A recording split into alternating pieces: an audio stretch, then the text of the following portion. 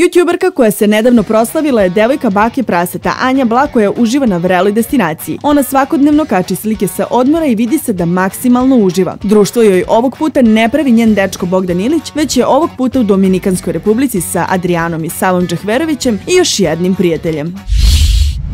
Ove nedelje dve naše influencerke su proslavile svoje rođendane. Naime, Angel Tatjana je svoj dan obeležila u krugu porodice i to objavila na Instagramu, a u Kiku je napravila sjajan fotoshooting koji je prikupio veliki broj lajkova na društvenim mrežama. Obe su dobile veliki broj čestitki, a mi im se pridružujemo.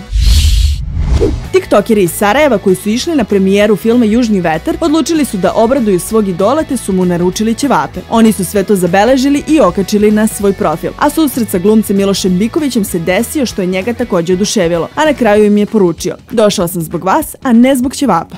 Ja sam zbog vas došao zbog ćevapa.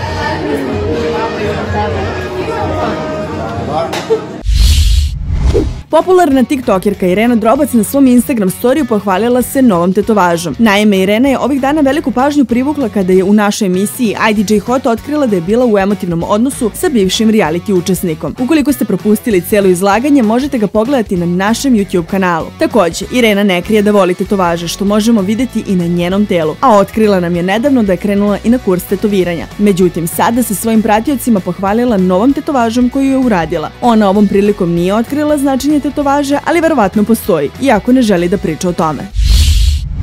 Jedan od naših najpopularnijih youtubera Andrija Jo obradovao je ženski deo njegove publike provokativnim fotkama iz kupatila. On je pozirao u kupatilu u donjem vešu, a njegove trbušnjaki istakao je u prvi plan. Usledile su brojne reakcije Andrijinih obožavateljki, međutim youtuber ipak nije odgovarao na komentare.